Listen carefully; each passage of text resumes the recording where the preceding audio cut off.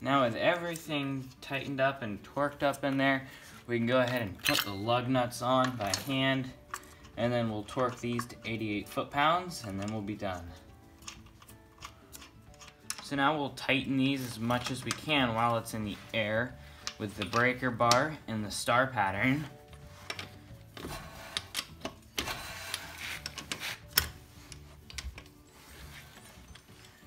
That star pattern is very important so the wheel seats on evenly and it won't go, we won't go on cockeyed. Now with the car back on the ground, we can torque the wheels to 88 foot-pounds. Make sure to do it in the star pattern